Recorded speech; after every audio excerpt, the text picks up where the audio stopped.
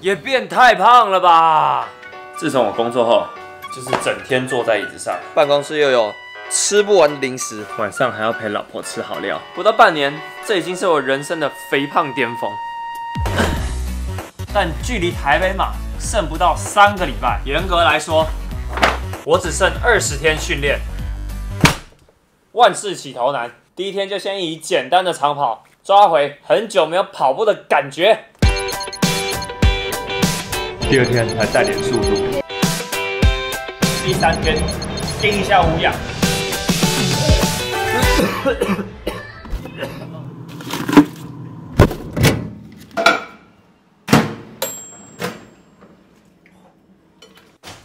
哦，有够酸！有跑过步的人都知道，连续练三天一定超酸痛。但还好我有茂茂堂土鸡胸肉。你看那些顶尖的跑者。一个顶尖的跑者需要迅速的恢复，我只吃棒棒糖土鸡胸肉。不信你问营养师。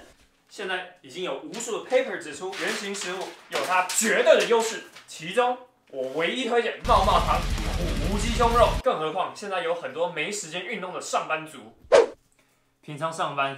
压力大就想吃甜食，想维持八块肌好难，但还好我有茂茂糖土鸡胸肉，超大的分量，给我满满的饱足感，让我根本没有多余的食欲吃这些特色食物。茂茂堂土鸡胸肉，给我多年来梦寐以求身材。我跟你讲，这一次我就打算靠着茂茂堂土鸡胸肉，完成我就是台北马超密集训练计划兼短期、中期减脂，是不可能 no 任务。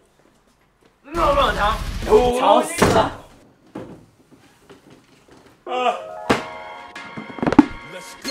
第四天，让腿休息一下，做点核心。训练的第五天，看看我收到了什么。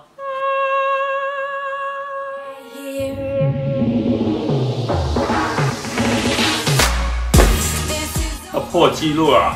啊，梦寐以求的跑鞋。最后一开。啊，今天不想跑步，来走，弹跳，训练。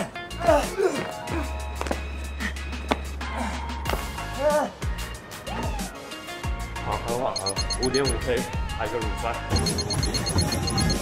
来个长跑，四个一千公尺，三分三十九秒。传说中的都兰国小，回到都市，三个四百公尺。冲刺，中间休四十五米。啊，今天不用跑步，但是要做间歇训练。啊，台北终于没下雨了，来跑最后一次长跑，十六点五 K，四分三十二秒。台北马倒数八天，台北马倒数七天。哎，这个礼拜都要这么早起。进入比赛的最后一个礼拜，我想要跟各位分享一个观念：肝糖超补。嗯，好烫。肝糖超补法是为了解决马拉松选手在后半段发生肌肉无力的现象。运动需要的能量系统是使用肝糖转换成葡萄糖，也就是说，在长时间运动，肝糖存量要到一定的基准。像我这种以前没有在训练、跑量堆不够的人，肝糖可能没有办法支撑我跑完一个半马。更不用说是全马，那这个时候就可以透过肝糖超补法来增加身体的肝糖存量。一般肝糖超补法需要七天，第一天配合高强度的训练，接下来三四天就是低碳饮食，然后在比赛的前两三天开始大量的摄取碳水化合物，然后在比赛前一天休息完全不动，让这些碳水化合物转换成肝糖。存在身体里面。根据科学研究，这种肝糖超补法可以让你在比赛超过九十分钟后的表现能够维持在一个很不错的基准。嗯，但有吃过低碳的人一定知道，在低碳饮食的阶段非常的痛苦，能吃的东西其实不多，大部分东西都不好吃，所以常常会发生情况就是低碳的阶段没有办法熬过剩三四天。但没有关系，冒冒糖帮你解决了这个问题。这一份一百五十公克。里面只有三点六公克的碳水化合物，再加上使用台湾土鸡保持它原有的口感，让你轻松熬过这段低碳饮食的时间，好爽！台北马倒数六天，剩六天比赛，现在课表越来越轻松。今天只要跑两个四百公尺。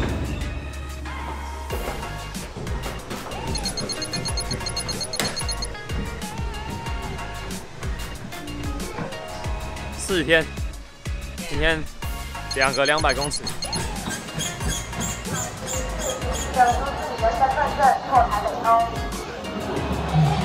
到了！哇，明天就比赛了，好紧张啊！台北马是我参加过第一个需要绑 transponder 的比赛。好了，穿完了，那我们明天台北马见，晚安。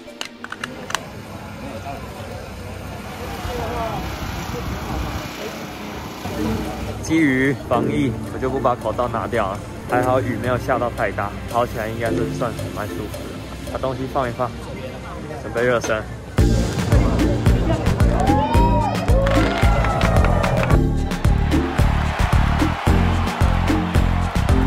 啊，跑完了，超大的 PB，这是大会成绩，一小时三十一分一七。我的第一 K 我回去看了一下是六分数，我觉得很可惜，真是差在出去的第一 K，下一次就有机会破九十。啊啊！回到家了。老实说，我对于今天比赛真的非常非常的满意，不论是身体的状况也好，训练状况也好，饮食的调配也好，我觉得真的是样样俱变。那这次的成绩。让我排名到总一九五，前面大哥大姐，佩服佩服。好，最后给各位看一下，这三个礼拜来有系统的训练，正确而且干净的饮食，最后的身材能够从一个胖子变成。其实我会给自己一个非常不错的分数，至少在肌肉量有增长回来，整体脂肪就是有下降的。瘦身不外乎就是饮食跟运动，但是当你没有时间运动的时候，饮食就是你唯一的选择。妈妈糖，苦鸡胸。OK，我是 Darren，喜欢这支影片的话，帮我在底下留言分享、点赞，祝你瘦身运动愉快。哎，等一下，等一下，你忘了一件事情，到影片的下面按到那个赞。我靠，这头也太帅了吧！点它有一个红色按钮，按下去就对了。哦，哎，你还有时间再看一支影片了。我跟你讲，这支影片超级好笑。哎，还有这支，这支影片，哦，屌了，厉害了，厉害了！不信你点点看，真的啦，你点点看，哎，你点点看啊，哎，点点点看，点。